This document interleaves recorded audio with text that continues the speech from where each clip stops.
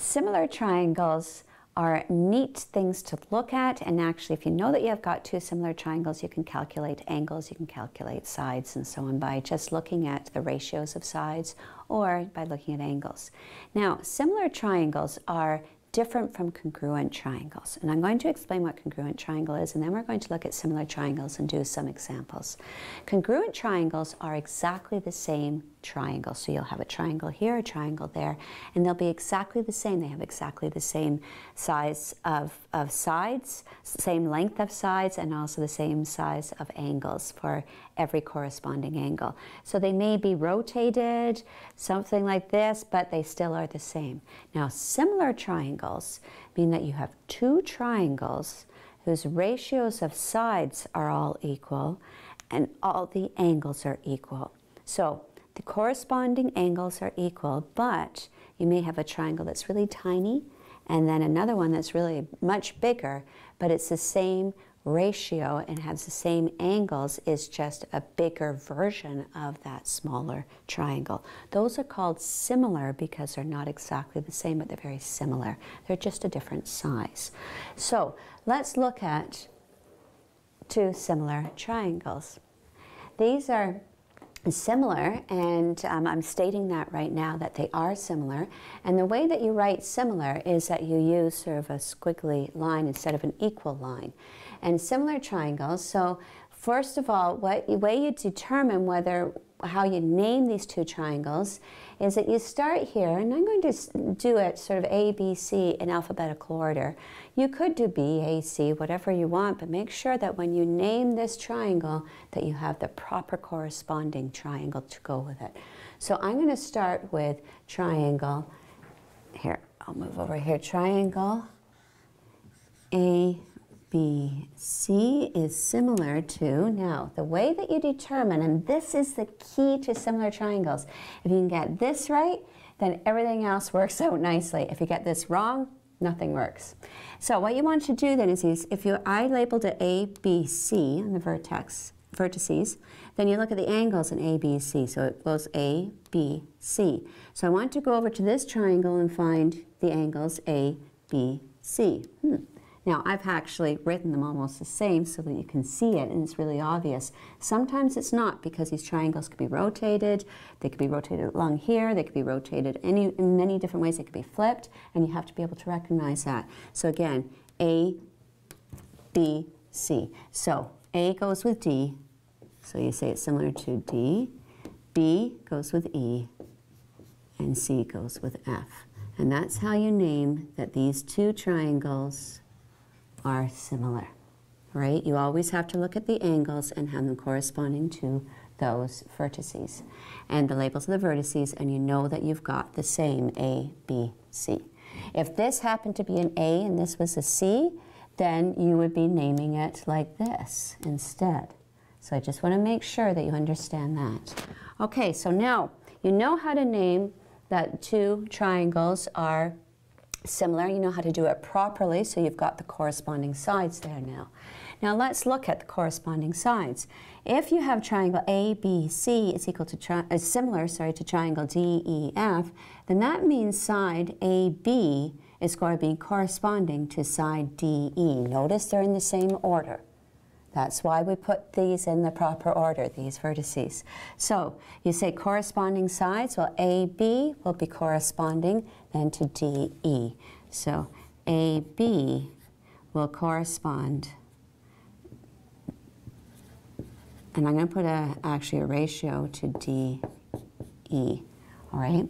And that, which is interesting, that ratio will equal to the corresponding sides of BC so BC is the next one to EF, EF. So that ratio would be BC to EF would be the same as AB to DE. And finally, the last sides, a, that would also equal AC to DF. And all those ratios equal to each other. So let's, let's prove that.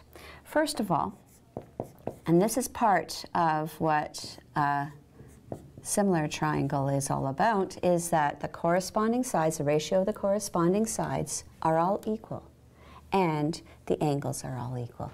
That is what similar triangle is. So AB to DE. AB is 9 and DE is 15. So if you notice, if you reduce that, then what you've got is you divide by 3 and you get 3 to 5. That's the ratio of AB to DE. Let's look at the next ratio. BC, whoops, to EF.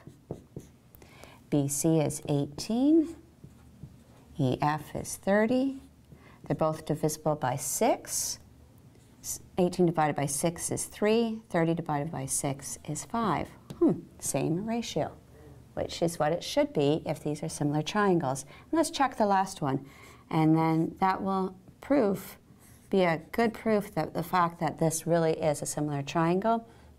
And, um, and that one would be 21 to 35. And again, divide by 7, and you get 3 to 5.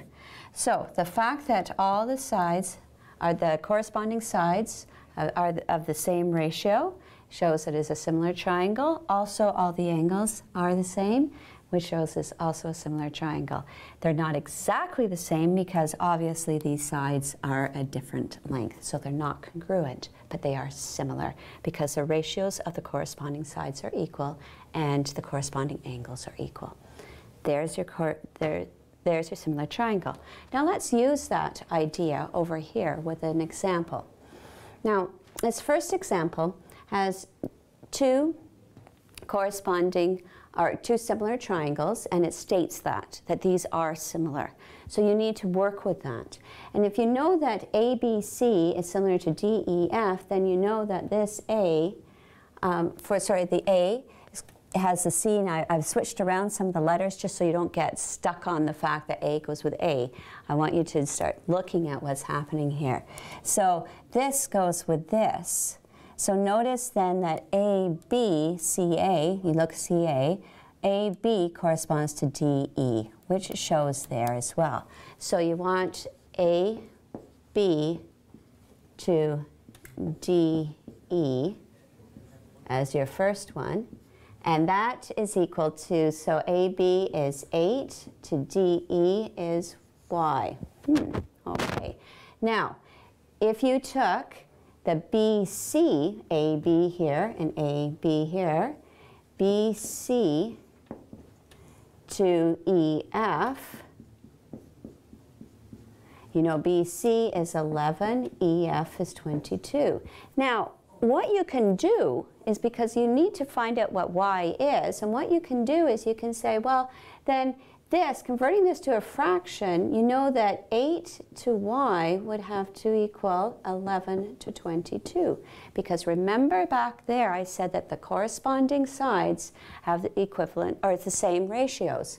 So if that's true, then let's just flip these around because you know that 8 to y is y to 8, so therefore 11, like if you flip that, then as long as this y stays with this 22, y to 22, is equal to 8 to 11. So um, let's just switch them around. y to 22 is equal to 8 to 11.